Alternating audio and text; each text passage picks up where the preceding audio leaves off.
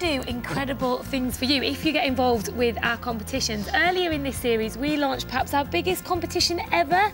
We gave you the chance to design the emblem for the Queen's Diamond Jubilee in 2012. Nearly 35,000 of you got in touch. Let's take a look at the overall winner. This is Catherine.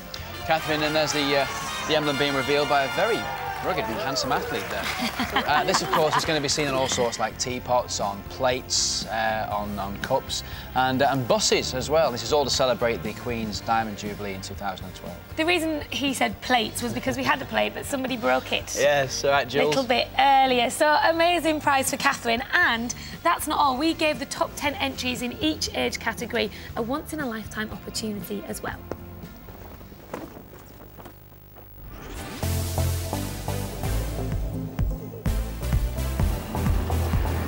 Now, normally when you're on a coach, you're heading off on some sort of school trip, maybe to the museums or, or, an art gallery. But today, this coach trip is very different. We're heading to Buckingham Palace, and I am very excited about it. And that's not all. We're also gonna get to meet the Queen. What an honour. There you go, there's Buckingham Palace.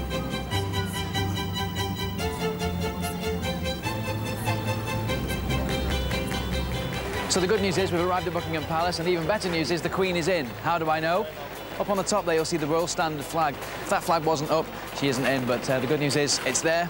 So the Queen is just through here. So exciting. Time for our winners to see what the palace is like on the inside. Your design is up in Buckingham Palace. How cool is that? Cool.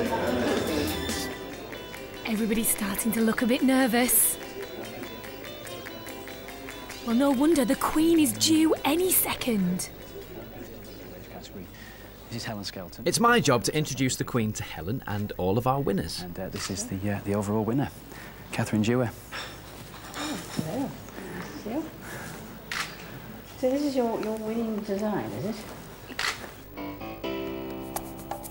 Next up, it's our other two age category winners, Harris and Kate. And finally, on to the runners-up.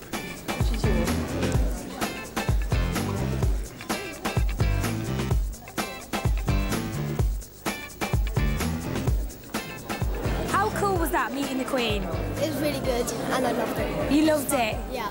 And this is why we do competitions like this, because people like Harry, people like you, get to come and meet the Queen. And that's amazing. Those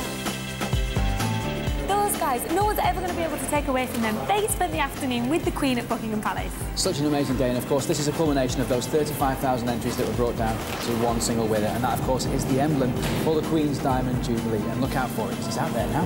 Thank you for entering. Now, if you're planning on taking, want to see